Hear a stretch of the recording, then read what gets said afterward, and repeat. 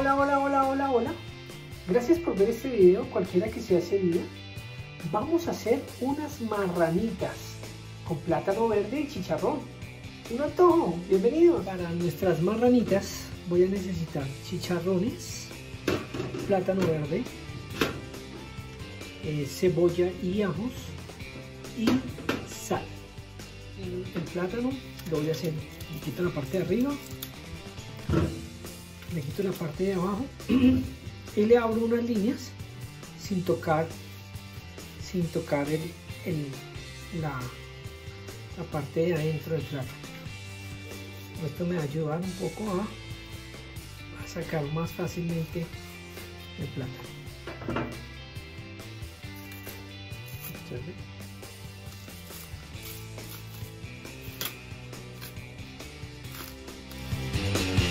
este caso voy a cortar tres pedazos grandes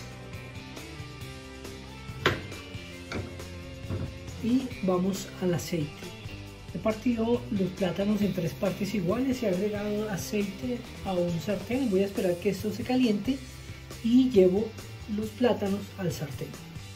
Ya el aceite está caliente, he incluido los plátanos.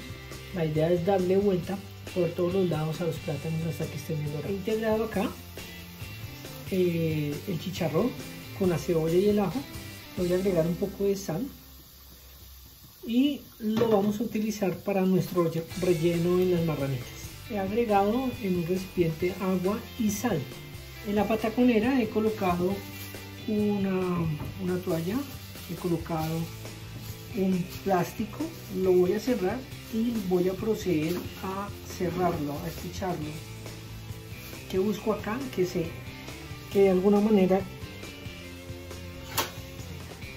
se, se espiche un poco el plátano y poder hacer las marranitas. Observe, ya he logrado aplastar el plátano. Lo que viene ahora es rellenarlo y volverlo a llevar al aceite para que se acabe de terminar.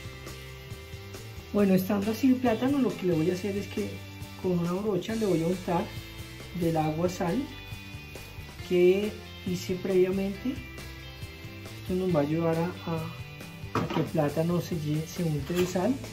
Y le voy a agregar ahora nuestro relleno.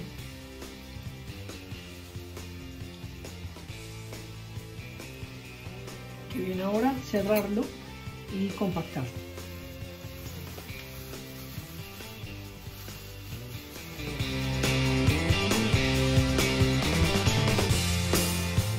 Bueno, armada la marranita nuevamente, lo llevamos nuevamente a, a, a fritar ya para ya que salga lo último. Le vamos dando vueltas y hasta que ya esté nuevamente. Así han finalizado nuestras marranitas. Van con plátano verde acompañado de eh, al interior con un relleno de cebolla, eh, chicharrón. Bueno, espero les haya gustado esta receta. Voy a agregarle un poquito de sal. Y bueno, espero les haya gustado.